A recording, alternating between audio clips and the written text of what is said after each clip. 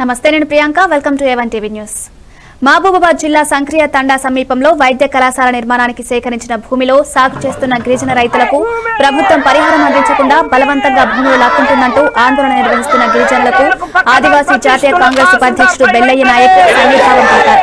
గతంలో ప్రభుత్వం గిరిజన రైతులకు ఇచ్చిన అసైన్డ్ భూములను వైద్య కళాశాల నిర్మాణంతో పరిహారం చెల్లించకుండా ప్రజాప్రతినిధుల అండతో అధికారులు లాక్కుంటున్నారని దీనిని తాము తీవ్రంగా వ్యతిరేకిస్తున్నామన్నారు. తెలంగాణ గిరిజన సంఘం రాష్ట్ర ఉపాధ్యక్షులు రామ్ నాయక్ మాట్లాడుతూ గిరిజనులకు నోటీసులు ఇవ్వకుండా వైద్య కళాశాల నిర్మాణంతో దౌర్జన్యంగా లాక్కోవడం దుర్మార్గమన్నారు. ఈ విషయంపై మానవ హక్కుల కమిషన్కు ఫిర్యాదు చేస్తామన్నారు. ఎంఆర్ఓ గారు స్థానిక ప్రజాప్రతినిధుల సపోర్ట్ తోని గుంజుకుంటున్నారు. దీన్ని మేము తీవ్రంగా వ్యతిరేకిస్తున్నాం.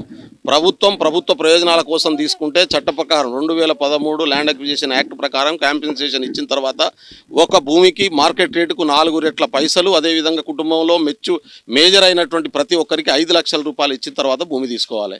వాళ్ళకి ఇల్లు ఇవ్వాల్సినటువంటి అవసరం ఉంది. ఇదేమీ చేయకుండా అడ్డగోలుగా గుంజుకుంటున్నటువంటి పరిస్థితి ఉంది. దీన్ని మేము అలో చేసే పరిస్థితి లేదు. ఖచ్చితంగా గిరిజనుల తరపున కోట్లల్లో కేసేస్తాం వాళ్ళకి చట్ట ప్రకారం న్యాయం జరిగేటట్టు చూస్తాం. దాంతో పాటుగా వీళ్ళ మీద దాడి చేసి దౌర్జన్యం చేస్తున్నటువంటి అధికారుల మీద చర్య తీసుకోవడం కోసం కూడా చట్ట ప్రకారం కేసులు ఇస్తాం అప్పట్లో పంతొమ్మిది వందల డెబ్బై ఏడులో అసైన్మెంట్ చట్టం ప్రకారం ఈ భూమి అంతా అసైన్మెంట్ చేశారు.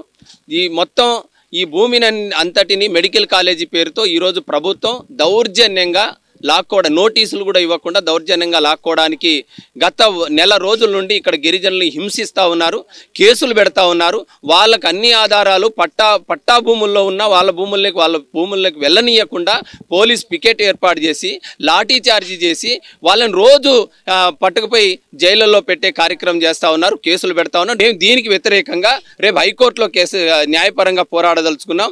మానవ హక్కుల కమిషన్కి పిటిషన్ వేయదలుచుకున్నాం. ఎస్సీ ఎస్టీ కమిషన్లో పిటిషన్ వేయదలుచుకున్నాం. అవసరమైతే ఢిల్లీకి కూడా వెళ్ళి మానవ హక్కుల కమిషన్ కలుస్తాం. తప్పకుండా వీళ్ళ పక్షాన బాధితుల పక్షాన వీళ్ళ కాంప నోటీస్ ఇవ్వకుండా ఎంత దుర్మార్గం అంటే నలభై ఐదు రోజుల ముందు చట్టం ప్రకారం నలభై ఐదు రోజుల ముందు నోటీస్ ఇవ్వాలి. నోటీస్ ఇవ్వలేదు ఇంతవరకు. నోటీస్ ఇవ్వకుండా భూముల్లో పట్టా భూముల్లో ఏ విధంగా వస్తారు?